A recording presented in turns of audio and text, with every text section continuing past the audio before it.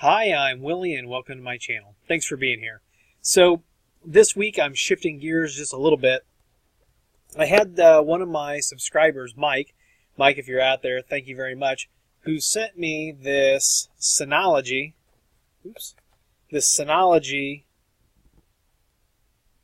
RT2600AC, and he wanted to know how well will the Ubiquiti access points, uh, specifically the pros, how well will they work with it.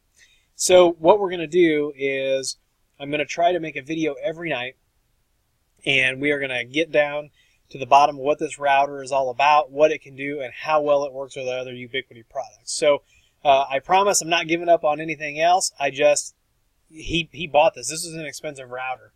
Um, you know, so he he bought this and sent it to me, and so I I told him, uh, you know, we'll do this, and I got it. I haven't taken it out of the box. We're going to do that right now. So uh, on the front of the box, it says uh, it's got a 1.7 gigahertz dual core CPU, up to 2.53 gigabits per second concurrent dual band, quad stream, and uh, MU MIMO uh, Moo Moo Mimo Moo Mimo. Uh, enhanced parental and traffic controls, uh, downloads, and multimedia hubs. And then on the back, it's got a little bit of a uh, shows you how you can install it, and it says uh, more devices at even higher speeds with the Moo Mimo. Uh, enhance your network with advanced security usage reports and VPN solutions. DLNA certified and optimized for 4K streaming and lag-free gaming. Seamlessly transition between higher speed or longer range with Smart Connect. USB 3.0 and SD card slot for time machine support and file sharing. And it's got uh, 1 gigabit WAN plus 4 gigabit LANs or 2 gigabit WANs and 3 gigabit LANs if you're going to run in dual WAN mode. It supports uh, 802.11 ABGNAC. Um, and it does do beamforming. It's got one USB 3, one USB 2, and one SD card slot. It is 3.03 by 11.02 by 6.65 inches without the antenna. It weighs 1.53 pounds. It's got uh, some buttons. It's got a two-year warranty out of the box. Two years. Two-year warranty on this out of the box. And in the package, we're going to find the main unit, the power adapter, the antenna, quick installation guide, and an RJ45 LAN cable. So let's open this guy up. And this must be the main unit itself. Comes in uh, packaging. And this thing is not small uh, by any means. So here's what it looks like. And then on the back, you know, so we've got uh, power here, uh, power button, then the power where the power cord's reset. We've got a spot for uh, our antennas here. Here's a USB. Here's our WAN 1 port, and then either LAN 1 or WAN 2, and then three of the ports. Then on the side, looks like we've got a WPS button, and we've got a Wi-Fi button. There's another connector there, and another connector there for antennas. Uh, there's an eject button. Here's a USB 3. On the bottom, it has our serial number, our PIN code, our MAC address, all that good stuff. Um, it tells us what our default settings are. So the default on this is 192.168.1.1. And it also tells us what our SSID and password is out of the box. So there is the main unit. This thing, this thing is pretty beefy. Um, so here's an Edge Router X, right? Here's the Synology unit. So it is uh, is quite a bit bigger, but that's okay. There's a lot going on in this, and I think Synology could be poised. Oh, here's your SD card slot up here in the front. I think Synology uh, could be poised. All they have to do is change their software you know, this thing's got multiple radios. They could do mesh. In fact, I think I read somewhere that they do. But it's pretty much all, you know, software. And, you know, they could pair it with one of their uh, devices, they could do some really interesting things. I mean, they they're in a very good position. Okay. So then, if we dig into the box, we have all of our antennas. As an antennae, antennas, know. But it doesn't look like they are labeled to tell us any any different, you know. So uh, four of them come in the packages there. We've got our quick installation guide.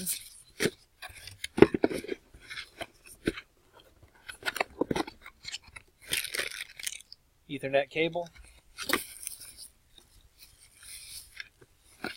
And our AC adapter. That's a pretty nice sized AC adapter. Let's see. It is uh, 12 volt, 3.5 amp out. So man, that thing is that thing's almost as big. Believe it or not, this power adapter is almost as big as the edge router. That is uh, that is uh, kind of funny, but uh, man, that thing is that thing is uh, beefy there. All right, so let's get rid of this box for a minute. And let's open up the quick start guide and see if there's any rhyme or reason for the antennas or if we just start installing those. So according to the quick start guide, you just put on the four antennas and go. There's no, you know, uh, assigned places for any of those. And then you uh, put all the antennas up at a 90 degree and then uh, you plug a PC into LAN 1 and you plug the uh, router into your WAN port. And then we go to 192.168.1.1 and we follow the setup wizard. And there's also a companion app. So we're going to get into this thing. We're going to get into everything about this router. Um, and then we're going to, once we figure the router out, then we are going to pair it with our Ubiquiti. I've got a couple of, of the AC Pros. We're going to go ahead and pair this with the AC Pros, and uh, what will likely happen, just because the way it is, you can't, you know, this device uh, cannot communicate with those APs to create, you know, a single network. So likely what will happen is we will just use this Synology as the router, but we've got to look at this and, and see if everything's going to be uh, copacetic. And, and, you know, judging by the quick start guide, I think that um, this thing does a lot. So we're, we're going to we're going to get to that. But uh, also, you know, Mike sent me, uh, you know, an email, you know, want to know some specific things, so we will cover we will cover all of that while we're doing this. So I'm putting the last antenna on. And then you'll see what this thing looks like. It is not small. I kind of I kind of like it. I mean, this thing is. I mean, look at this thing. It's, it's kind of impressive. You know, it's definitely way bigger than the Synology NAS. Now, that's a single disc. Uh, but uh, so what I'm going to do now I'm going to pause this video. I've got all kinds of edge routers hooked up, so I have to, uh, I got to pause, I got to rearrange some things, and uh, as soon as I get this hooked up, I get it powered on, we get a connection, we'll be right back. Okay, I've plugged my PC into one of the LAN ports, plugged the WAN port into my cable modem. I have rebooted my cable modem. I opened my web browser, went to 192.168.1.1, It is redirected to this URL. Now, if I'm going to keep this in play this week, I need to make a few changes. I need to change the LAN side and the DHCP and all that good stuff. Uh, so we're going to go ahead and start this.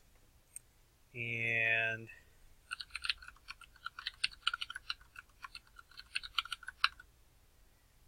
I'm going to enter my username and password for uh, the administrator. By the way, this is slick, all done right through the web, the web GUI here. Uh, set up your Wi-Fi network. we'll call this uh, Synology Lab.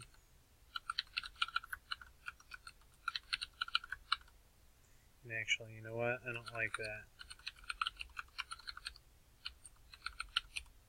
Okay, Synology Lab. Uh, no, I don't remember that. Okay, set up your operation mode. Operation mode, wireless router, wireless AP. So it can be just an access point, apparently, uh, which is probably that repeater mode that they're talking about. So we're going to do wireless router, and then we're going to do external access to the SRM is disabled for now. Oh yeah, so if we go to wireless AP, it says bridge mode. All network interfaces are bridged together and connect to the internet via another router. So we don't want to do that. We definitely want wireless router. Uh, set up your internet connection and it is going to be auto IP. We will apply that.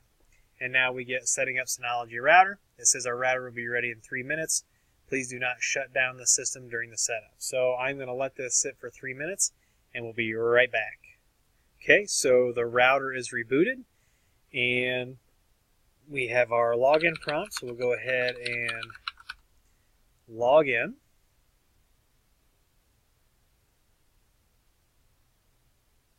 This is welcome to the router manager. So it's going to show us all the packages. And so this is kind of similar to what the Synology, the uh, NAS SAN devices walk you through kind of this little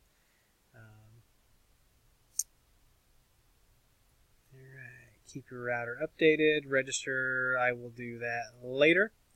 So let's look at the control panel real quick. Uh, system's got the little one, so it needs something here. Must be checking for a software um, update. Yeah, and it is indeed checking. And it looks like uh, 6542 is available. I wonder what's new. Let's see. And this was just released. Okay, so it added a a few more things. So I am going to what, kind of fixes? Oh, there are all kinds of fixes. Fixes. So I need to go ahead and do that. So we'll go ahead and download this, and uh, we will get this um, update shaken here.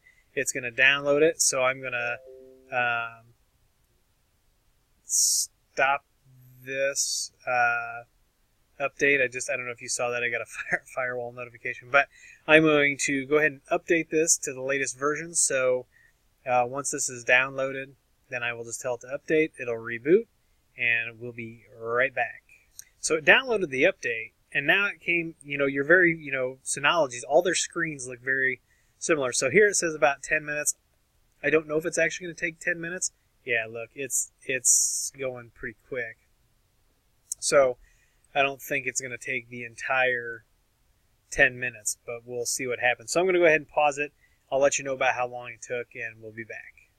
Okay, so it took about five minutes to get us back here. Now, uh, we still don't have internet, so I'm not sure what's going on there, but we'll log in and see what's going on.